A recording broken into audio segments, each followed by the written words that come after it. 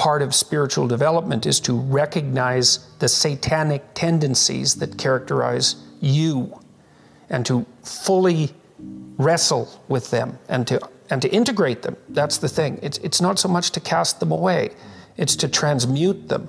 You know, and you can see the difference between people who've done that and people who haven't, at least to some degree, because people who haven't integrated the shadow at all are naive. And you can tell that when you look at them, and you can tell that when you talk to them. And because they're naive, they're often resentful as well because they get taken advantage of. And someone who's integrated that more, they're dangerous in in the martial arts sort of way, which is they're dangerous, but they don't have to be, they don't have to use it because their presence radiates implicit potential for havoc, and that's really necessary. It's one of the things that gives people self-respect. If you're harmless, you're not virtuous. You're just harmless. You're like a rabbit. A rabbit isn't virtuous. It's just, it just can't do anything except get eaten. It's not virtuous.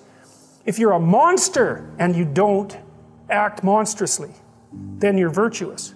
But you also have to be a monster. Well, you see this all the time. Harry Potter's like that too. It's like he's, he's flawed, he's hurt, he's got evil in him. He can talk to snakes, man.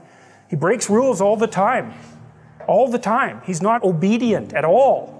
But, you know, he has a good reason for breaking the rules. And if he couldn't break the rules, him and his little clique of rule breaking, you know, troublemakers, if they didn't break the rules, they wouldn't attain the highest goal. So it's very peculiar, but it's a very, very, very, very common mythological notion. You know, the hero has to be the hero has to be a monster, but a controlled monster. Batman is like that, you know. I mean, it's it's everywhere. It's it's the story you always hear. If you're going to be a fighter, you have to want to win. And you have to want to hurt people. I mean, not for the sake of hurting them, that's what makes you different than an evil person. But you have to have that capacity, you have to develop that. And you know, that's the step on the way to enlightenment, weirdly enough, because that isn't what people think. People have been fed this diet of pablum, rights and impulsive freedom for so long. There's a, just an absolute starvation for the other side of the story. There are no rights, technically speaking, without responsibilities. And all we've had for 60 years is a dialogue about rights. Well, that leaves a hole on the other side of the story. And it's a hole that, that's in people's hearts, essentially.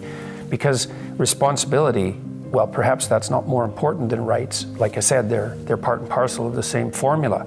But it's in responsibility that most people find the meaning that sustains them through life. It's not in happiness, it's not an impulsive pleasure. Those things blow away at the first ill wind. But to adopt the responsibility for your own well being and to try to put your family together and to try to serve your community and to try to seek for eternal truths and to live them, that's the sort of thing that can ground you in, in your life enough so that you can withstand the difficulty of life. And when you tell people that, especially when you include yourself in the audience, let's say, and you're not finger waving from above, then everyone knows that it's true. There's been this attempt to identify masculine competence and, and power, let's say, but mostly competence with tyranny. And that's very, very hard on, on young men. It's also hard on young women, for that matter. But it's very helpful for people to hear that they should make themselves competent and dangerous and take their proper place in the world because it's the alternative to being weak. And weak is not good. The people who shoot up the high schools, they're weak. They're weak.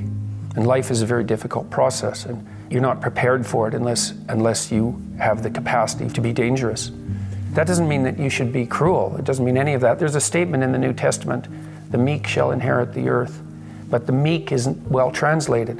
It means something more like those who have swords and know how to use them but keep them sheathed will inherit the world. That's a way better way of thinking about it.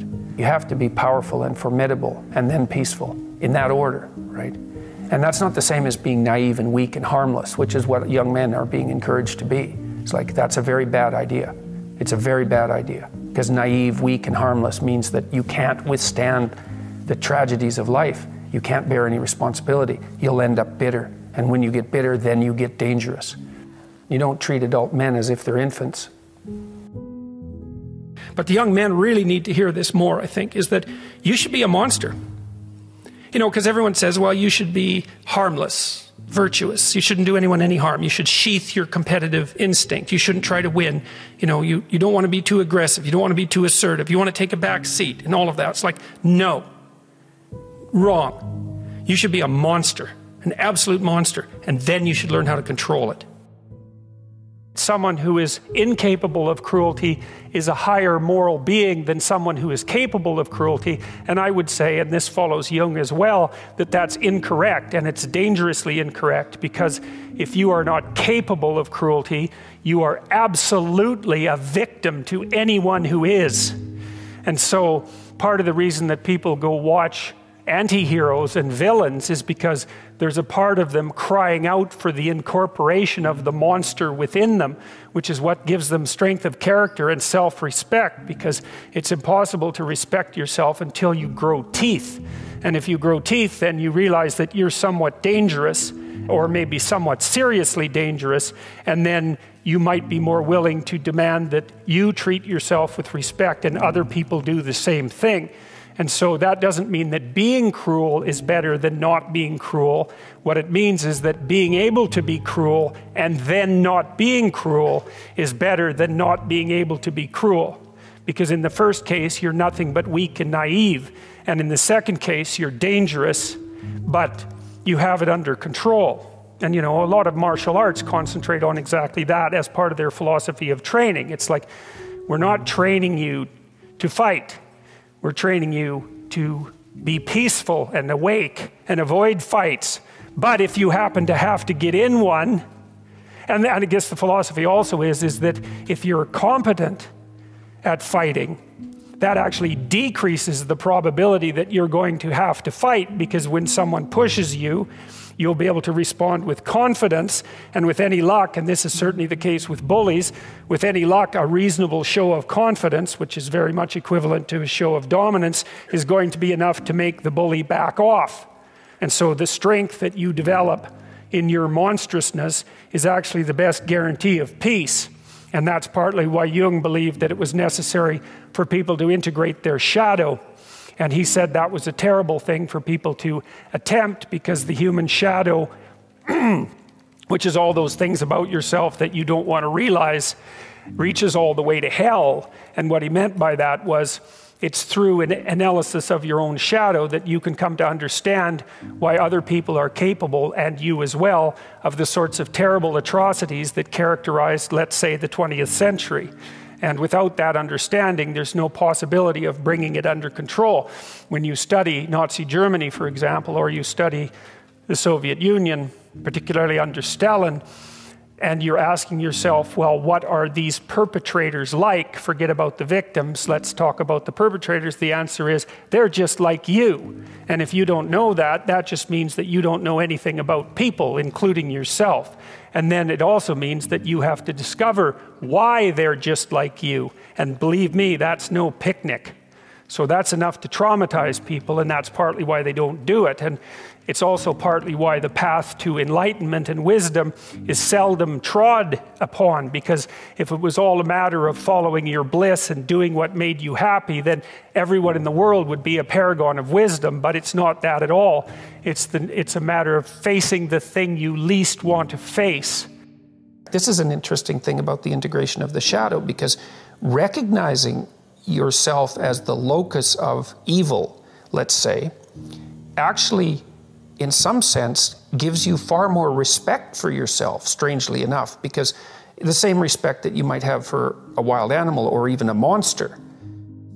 So then maybe you learn to treat yourself differently. Like, I, I think this is particularly true with regards to the discipline of children. You know, if you know that you're a monster, and that that will manifest itself in your life consciously or unconsciously and uh, if it's unconsciously it's it's not good then you become better at disciplining children. And the reason for that is that you don't want to expose them to your dark side. And so if they behave and don't provoke you, which means they'll also behave for other people, then the monstrous part can stay in abeyance. And then that's great. But if you don't understand yourself as capable of wreaking havoc, and that can be the kind of havoc that unfolds over decades, right? Because if you're going to abuse a child, it's the primitive form of abuse is the physical abuse. The sophisticated form of abuse is the continual undermining of the child's courage across perhaps their entire life. And that there's a terribly monstrous element to that. And if you're not respected properly by the child, say, you will absolutely take revenge on them. And, you know, in some sense, that's the whole Freudian psychoanalytic story. It's, it's not all of it, but you either have that or it has you. Those are the options. And you don't become safe by being castrated.